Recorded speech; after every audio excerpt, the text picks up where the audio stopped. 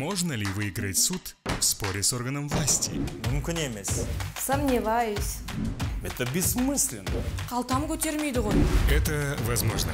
Административный процедурно-процессуальный кодекс нацелен на вашу защиту. Каким образом, спросите вы? Достаточно подать иск, и суд будет.